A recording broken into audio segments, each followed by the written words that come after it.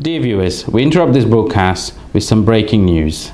By using performance indicators, noise at night at Croydon University Hospital has now reduced since the LIAB conversation. Teams have been working hard using their Knowing How to Do board to improve patient care and experience. The five CQC quality markers have been used as the objective markers to measure patient opinion and demonstrate improvements. Now over to our reporter on the ward at Croydon University Hospital. Hi, well here we are from Wonder One ward and we're lucky enough to be joined by Preeti the ward receptionist and by Yogi the housekeeper. I understand you've had some um, feedback from the family and friends and one of the issues that came up was hospital Yeah. noise at night. Yeah. So do you want to tell us a bit about what you've done to help reduce that? Yeah, me and my sister and our uh, housekeeper, we all to sit together, uh, sit together, and uh, we discuss about that, and we plan to get a new slow, uh, without noising beans, to patient can sleep very nice, uh, get a very good sleep at night. See the positive results of that on the family and tre- friends test very Yeah. soon. Hi, do you want to tell us a bit about yourself and your Yes. role? Hi, Yeah. good morning. My name is Yogi. I'm a housekeeper in Queen Swan. Yep. I am really happy to hear this news. We order some uh, earpad for them, all the patients. Um, we're working with closely, uh, listening into action, Mm-hmm. and uh, we have a family and um, visitors feedback every single day when patients go home. Excellent. Uh, so we work with- closely with that. Excellent. Oh, Yogi, thank you very much.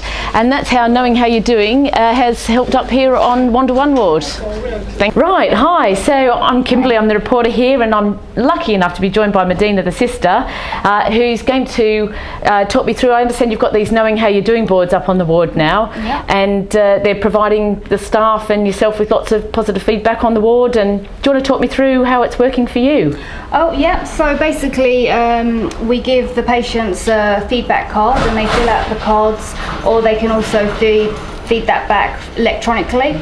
We sort of collect all that information and then we're able to pick out you know problems that we've identified i.e. the noise at night and we also have positive feedback in that Yeah. but obviously main focus is how can we make improvements working together as a team so what we do is then we have a weekly board meeting this is the board Yes. where we identify our scorecards and dis- discuss what improvements we can make from whatever you know negative feedback we sort of receive from patients Yeah. so then everybody's on board everybody's involved healthcare's doctors nurses and we all get together as a team and discuss you know ideas to make a difference Excellent. Told me how you've ordered earplugs and soft closing Yeah. bins, and it's made a real difference. Yep, it has definitely, and it's also reflected in our feedback that we've had since then by patients. You know, there's been no more complaints of noise. They seem a lot happier.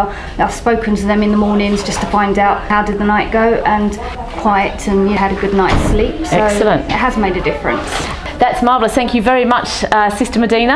And we'll be handing over to AJ back in the studio. Thanks, Kimberly. The LIA Knowing How We're Doing team are really trying to support staff in working together as a team to ensure that patient care is improving.